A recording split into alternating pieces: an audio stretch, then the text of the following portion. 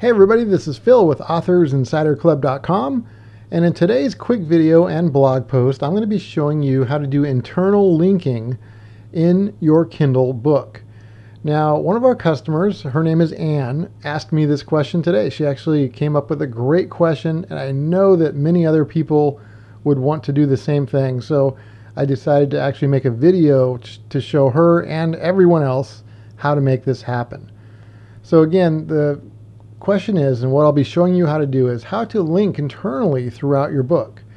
You know, our Kindle template automatically will do a linkable and clickable table of contents, but let's say, you know, you're in chapter two and you want to link to something on a different page within your own book. How do you do that? So let's show you right now. So in this example, I have a blank chapter here where I just put in a couple sentences and let's say you want to link to this right here. And this could be uh, one word, it could be a sentence, a paragraph, it could be an image in your book, anything. You can link to anything anywhere inside your Kindle book using our template. So step one is figuring out what you want to link to. And let's say we want to link to this line right here where it says this is where the link should bring me. So step one is to highlight what you want to link to. And then you want to click on insert and then bookmark. Now I'm using uh, Microsoft Word for Mac. It'll look a tiny bit different on the PC, but it's still the exact same command, insert bookmark. Now, what you need to do is you need to give this bookmark a name. And you're going to want to remember the name because you're going to use that in the next step. And you don't want to use spaces or anything like that. So for this example, what I'm going to do is call this link 1. So I'm just going to type in link one and then click add. So now I've set this as a bookmark right here and it's called link one. Okay. Now I'm going to go up to somewhere else in my book here. Let's go up to somewhere in chapter one and I made a line that says click here to see my example. So what I could do is make just the word here be a hyperlink or this whole sentence, this whole line. I'll go ahead and make the whole line a hyperlink, but it doesn't matter. You could do either way. So you want to highlight that and then to link it to the bookmark we just created, you want to click on Insert and then Hyperlink. So in this one, it's Hyperlink.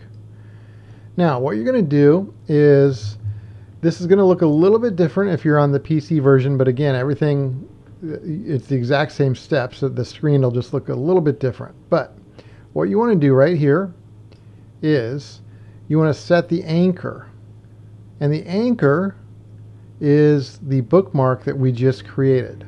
Also, you want to make sure if you have tabs like this, you want to make sure that the document is selected.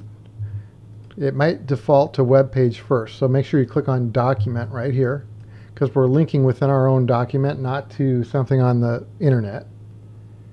Okay, so once we do that, all we have to do is type in right here the name of our bookmark. That's why you need to remember or write down whatever you called that bookmark.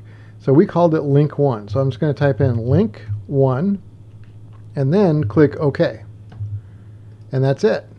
So now this is a hyperlink. So watch what happens when I click on this link. Boom, it takes us right to that line that we linked to that's in a different chapter and on a completely different page. So that is how you can do internal linking throughout your Kindle book. Again, you just figure out what you want to link to and then highlight that and create a bookmark. And then when you're linking to it, where, whatever you're linking from, you just highlight that and insert a hyperlink to that bookmark. And that will allow you to link internally throughout your Kindle book. And then your reader, if they want to, if they want to go back to where they were after they visit that hyperlink, they can just click the back button on their Kindle and it takes them right back to where they were before they jumped to your link. So it's really quick and easy. So hopefully that helps. If anybody has questions or ideas for more videos or tutorials, just let me know and I'll be happy to do some of those for you. Take care.